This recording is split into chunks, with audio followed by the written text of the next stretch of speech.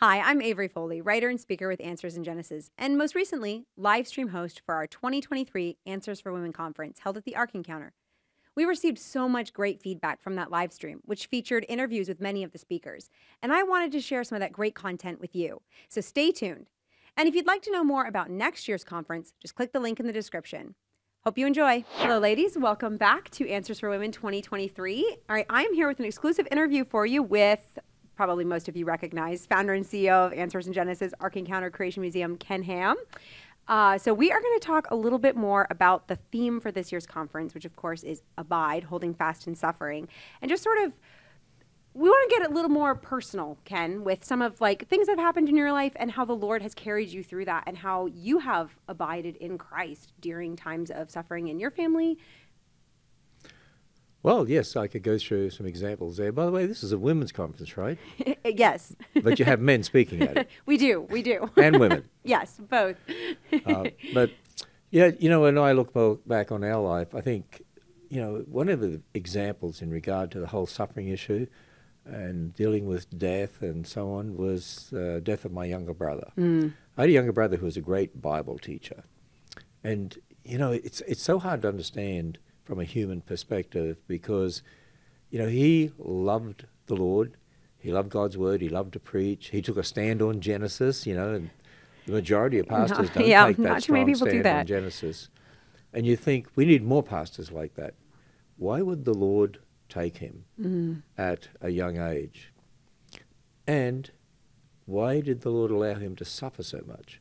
Because he had two years of suffering. He had mm. sort of a very advanced sort of dementia, frontal lobe dementia, actually mm. affected him terribly. And I mean, he was a great speaker, and yet he lost his ability to be able to speak, to be able to preach. He he he lost his memory in, in regard to uh, God's word and what he preached on. And for two years, we watched him hmm. just go wow. down and down and down. And, you know, I think about my, my godly mother. I mean, she had to deal with the death of my father when he was fairly young. I mean, at 66, yeah. actually, he passed away. Wow, yeah. And she never got over that. Mm. And she would always say how much she missed him, but it never at all shook her faith. Mm.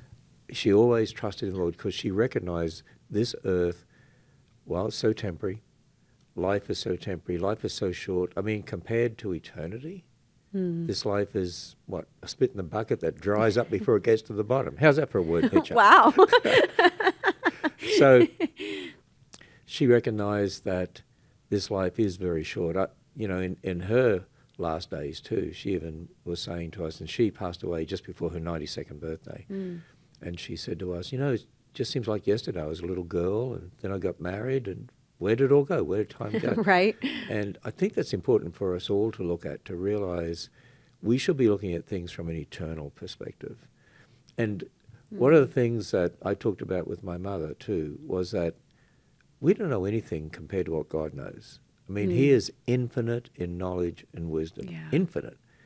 And so when you look at things and say, why did He take you know, my father at a young age. Why did you take my brother at a much younger age? He was a great Bible teacher. My father's a great Bible teacher too. He was a, a school teacher. But then you have to stand back and say, is it possible that God knows things we don't? Mm. Yeah. I mean, we, we look at it all and say, it doesn't make sense from this perspective. What about his family? He was a great Bible teacher. We need more of them. But, you know, compared to what God knows, we, we know hardly anything. Mm. And so, is it possible there are other factors involved that we don't know about? And we have to stand back and say, yes. And in fact, mm-hmm. that's the lesson that God teaches us through the book of Job. You know what's interesting about the book of Job is that people say, yeah, it's all about death and suffering. I mean, it's such a big issue for everyone. You know, how do you deal with death and suffering? Uh, you know, uh, we're only human where's where's God in all of this? Isn't He a loving God? Well, why do we have all this death and suffering? Of course, from the big picture perspective, well, it's our fault because we sinned against a holy God. Yeah. Right? We're living in a fallen world. That's why. In fact, I was uh, just at a church speaking and the pastor asked for a question time afterwards, I always that's always something I think, oh, what am I going to get? what sort of question? And some of them, some of the people want to make statements, not not uh, like this not is ask not a question. questions. And, but anyway, um, you know, dealing dealing with this issue, and uh, someone that was was asking one of the questions dealt with that issue of, you know, death and suffering and, and disease, and and they said, because I, I talked on the issue of one race. We're all one race, one blood. We'll go back to Adam and Eve. And then I talked about gender. I, I talked about marriage. Uh, and I talk about the fact there's only two genders, male and female, and Adam and Eve were the first man and woman, and we all come from Adam and Eve. So, you know, putting all that together. Right, yeah, yeah. You're probably teaching But- on Genesis, would be my guess, right? I, yeah, I was because because Genesis one to eleven is the foundation for everything. Right. and it's the foundation for understanding death and suffering too. Mhm, yeah. And so this person said to me, "What about what about um, children that are born with both male and female genitalia?" That's how she asked the question. Okay, yeah, yeah. You know, and I said, "Well, it's because of sin. There are mutations. There can be genetic problems, and Mm-hmm. it, not just you know in regard to the sex chromosomes, but in regard to other things as well." And that person was like a light bulb going in the head. Oh yeah, we're living in a fallen world. Yeah. It's, oh, it's because of sin. Yeah. Mm. See, because no doubt people have come to her and said, "There's not just two genders. What about what Right, about yeah, this?" yeah. And they always Yeah. use that.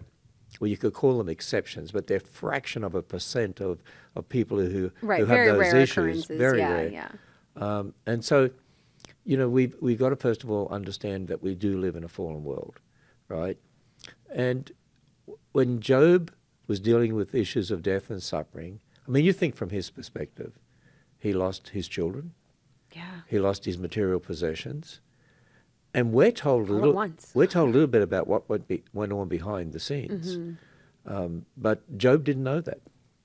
Yeah. And, you know, his friends are giving him advice that was not very good advice, and God chastened them later. Yep. And then when Job wanted to argue with God, remember what God said? Job, do you know this? Do you know that? Do you know this? Can you do that? Can you bind these stars? Can you do this? Can you do that? Do you know this? Do you know that? And then you read as you go through all of that where Job says, I, I you know all things. I repent in dust and ashes. Hmm. He recognized that we know, we've got to let God be God. He knows everything compared to what we know. I mean, we know next door to nothing. And that's an aspect that we have to stand back and say, you know, it's, it's part of without faith, it's impossible, you know, to, to please God. Right, yeah. And because we're finite beings, there's always going to be that faith aspect, right? But it's not blind faith. It's a faith that makes sense of what we see. But there's faith mm-hmm. nonetheless. And without faith, it, you know, you can't please God. That's mm. that's what God tells us. And we've got to stand back and say, Lord, I, I don't understand all these things. Some of it just doesn't make sense to me. But you are God. Mm-hmm. And I look back even in this ministry and we see things that have happened over the years, and at the time you say, This doesn't make sense. Later on, you look back and you say, Wow, God used those circumstances to do something beyond what we could ever imagine. Like with the museum, we lost our first piece of property, and That must have been so discouraging at the time. it was, you know. And then the, the, the media interviewed me and said, "Uh, "Well, you're giving up now? You know, is that it?" No, no, no. They didn't know you very well. God's, God's called us to do this, right? yeah. God's called us, we're going to do it. We're going to do it. And then when we found this other piece of property, far better piece of property, right on a major interstate. That's where the museum is today. And we look back and say, no wonder God allowed us to lose that first piece of property and all the mm. battles that we had and so on. But you won't always be able to look back on mm. this earth and, and be able to see those things. There are some things we look back and say, I guess we're not going to find out till we meet the Lord. I guess we're mm. not going to find out until heaven. And, you know, I think we will, so, so, some people have given that analogy. I'm sure many have heard of it. You look at a beautiful tapestry and it's a beautiful pattern. It might be a beautiful, exquisite piece of artwork, really. And you turn it over and you see all the threads and they're all, they all seem to be a mess. but on the other side, it's a beautiful pattern. And that's really how we've got to look at these issues. You know, on one side, we see people dying and disease and suffering and all these other horrible things happening and all, all this evil in the world and so Mm-hmm. on. And we say, I, I, I don't understand. Look what's, happening. Look what's happening to our Western world right now. Then we turn it over on the other side and we see this beautiful pattern. Mm. And that's how it will be. And, you know, my, my mother knew all those things as my, my brother was, was dying. Actually, everyone's dying. I hate to say this, Avery, but you're dying. it's true. because God says it is appointed unto man once to die, Yep. and then the judgment. So you know that's another aspect of this whole death and suffering issue. When when people say, you know, why did why did so and so die? Why did God let let someone die? You got to remember something. Everyone's going to die, Mm-hmm. right? So the right question to ask is, why was it their turn to die? Well, we might not know why that was their time right then. We we might see something later on that you know is a marvelous pattern. We might not know at the time, and we may never know, as I said, on the, on this earth. Yeah. And I mean, I look at my my own brother's uh, death, and I think, you know, the interesting thing is, I did write a book about it, and I've now taken that book that's already sold tens of thousands of copies, probably hundreds of thousands, and I have totally rewritten it and upgraded it, and I still have the personal aspects in there. Mm-hmm. But I believe a, a lot more people are going to buy that book, and I think actually he's probably ministered to more people in his death than he did in his life, if you think about it, um, because of that book. Now th- that could be one thing to to come out of that. Another aspect, I think, I often consider my mother, and she didn't question God. I mean, in, in a human sense, she sort of did. Uh, when she would say, "I don't understand it," you know, we the, the the the minister down the street is liberal. He teaches against God's word, and my son stood for God's word, and and and yet the minister down the street is as healthy as an ox, you know. Right, And, yeah. and my son's dying and lost lost his mind, suffering in a terrible disease, and I reminded her. I said, "Mum, the minister down the street's going to die too." But when he dies, if he if he hasn't put his faith and trust in the Lord, and some of these liberal pastors, I don't know where they are spiritually. God God knows. He knows Right. how. But sometimes I I have big question marks about where they really stand when when they reject God's word, and and of course some of them even reject the resurrection and so on. So how can they be truly Right. saved? Yeah. But I said, do you realize that Robert is going to be totally healed soon? And he'll be totally healed because he's going to be in heaven with the Lord. And we've got to recognize that. And, you know, and I, I watched my mother, and even though she grieved, and, and she always grieved in regard to my father's death and my brother's death, but nonetheless, she was so solid in her faith. And even in the nursing home, when she was there, we, we, we had no option but for her to go to a nursing home because she lost her ability to walk. And uh, she, she had her mind sharp as a tack uh, right up until the day that she passed away.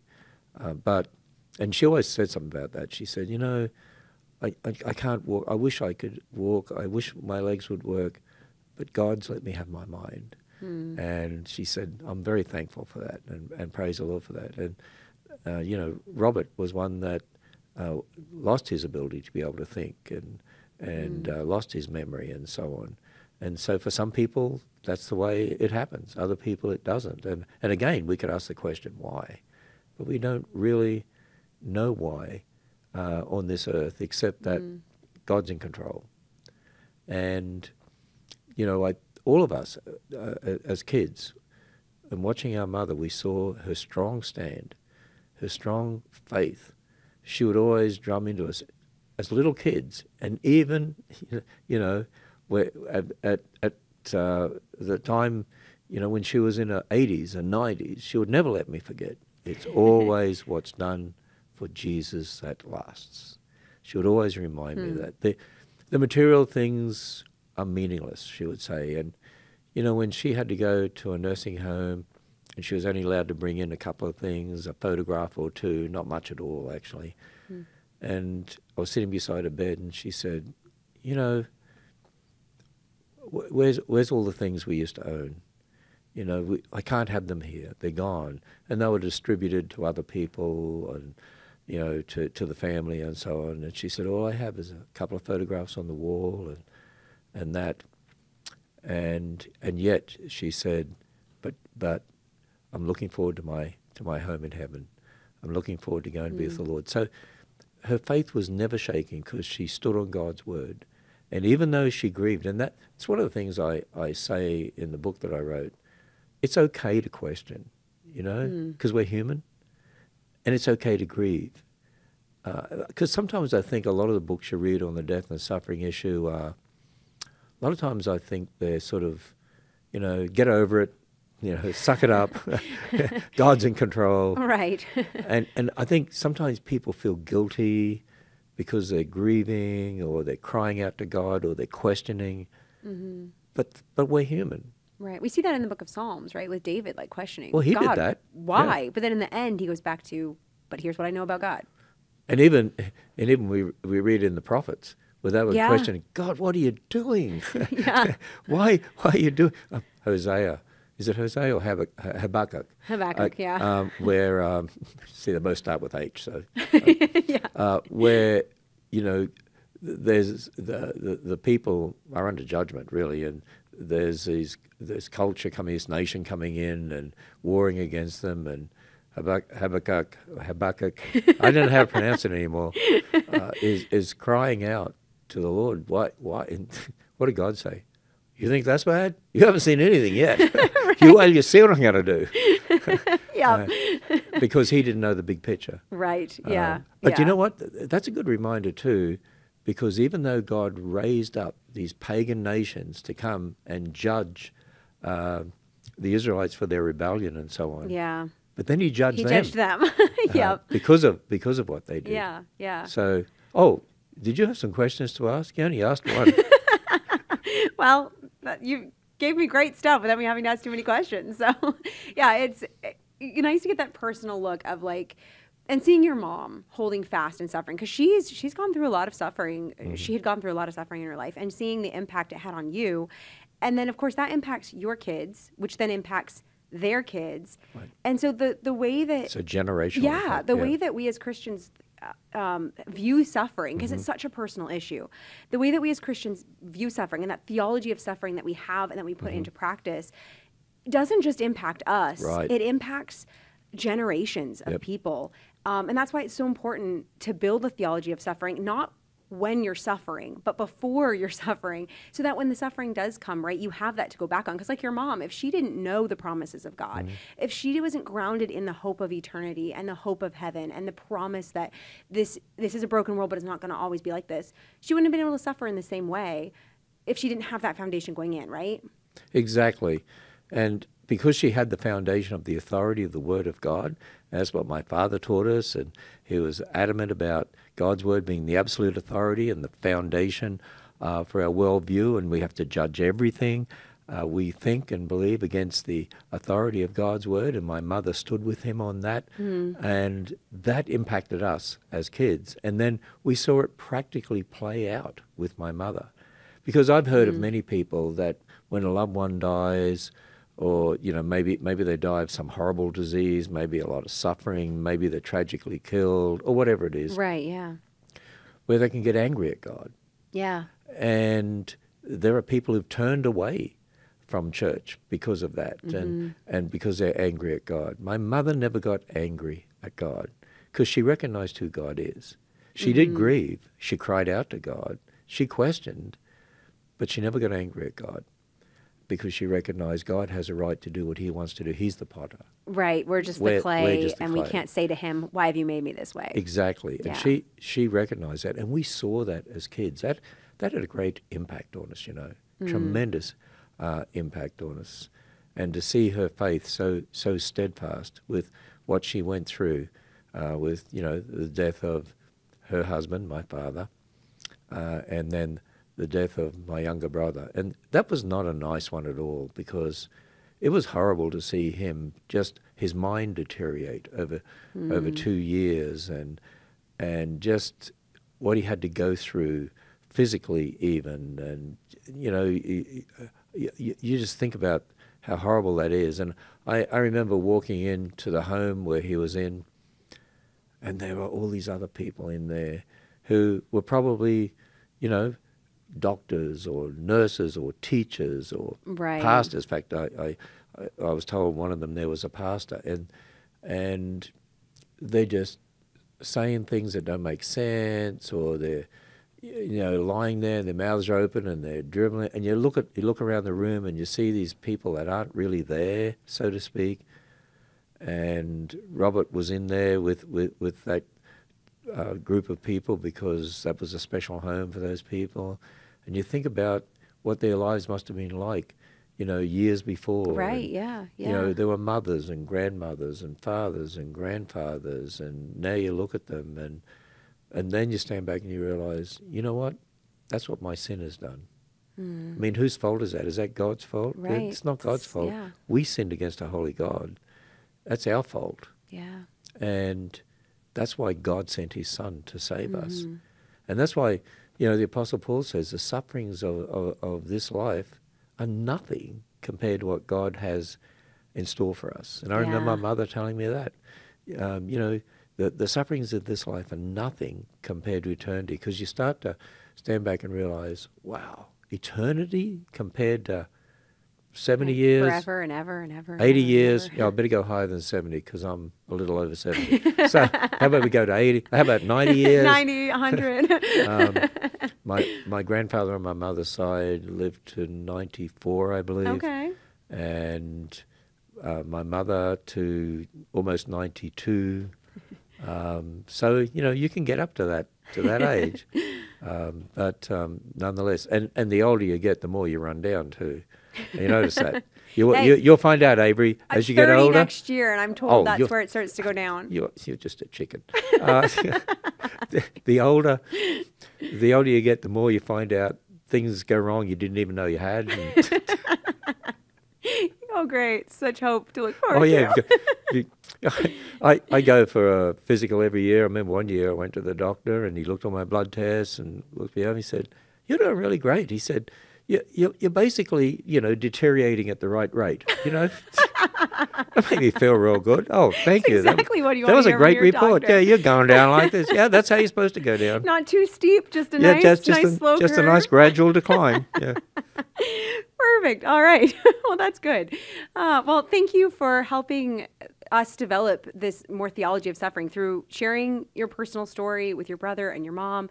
Um, and it's just neat to see how, um, even though she's gone to be with the Lord, her testimony of faithfulness to the Lord is still continuing to teach other people. So, And it is for that. even through the book I wrote on death and suffering, Yes, and, yeah. the, and the one I've upgraded because it really is centered around my mother and my brother, and also a bit about my father in regard to. Uh, uh, because he lost his father. Um, and he lost age, his so, father yeah. when he was 16 years old, which is interesting because as as my- now my brother that went to be with the Lord, my younger brother who's a preacher, uh, he was the one that was sitting with my father, and it was in 1995, and it was sitting with him uh, in hospital.